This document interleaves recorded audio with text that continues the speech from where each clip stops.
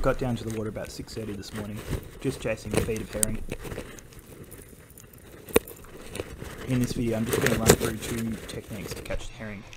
One with a full intact plastic, and one even just with a piece of the plastic left that's been ravaged by blowies or by a chopper tailor.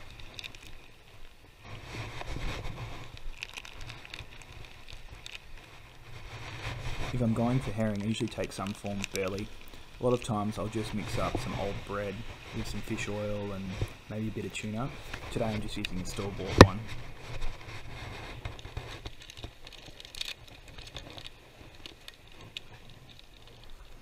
My go-to plastic for herring is a Z-Man Slim SwimZ. I usually use um, motor oil or bloodworm. Doesn't matter too much, I just tend to have a lot of bloodworm from my bream fishing. I'm using a 1 12 ounce jig head.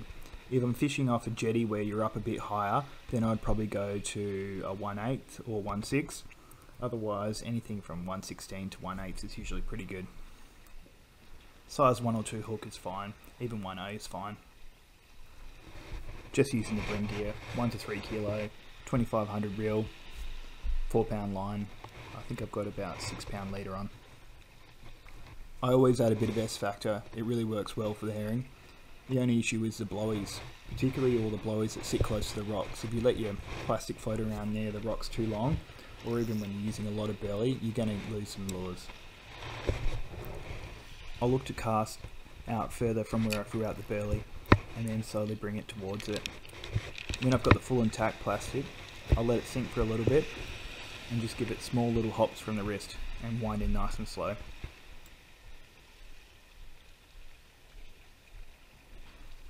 Set a soft drag, just enough that you can pull it past the rocks when it gets close.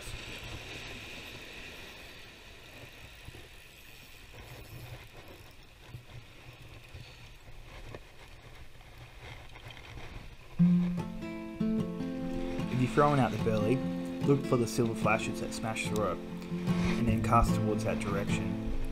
If you've got polarized sunnies on,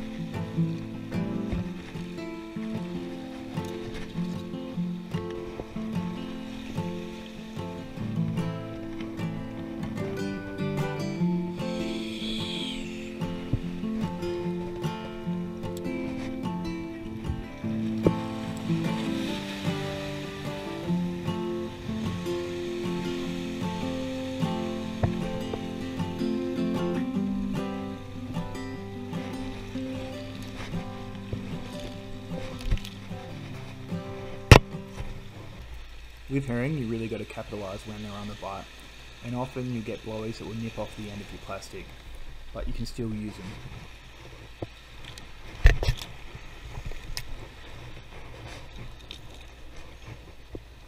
Once you lose the tail of the plastic, you got to use it more like a flick bait.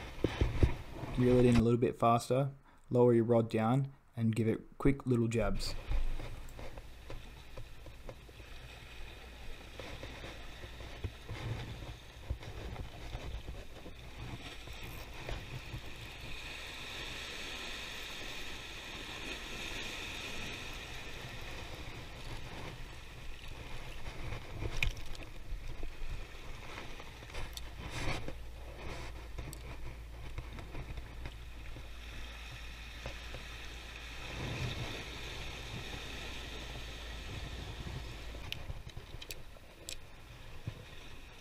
You can see how much of this plastic has actually been taken, but they'll still hit it.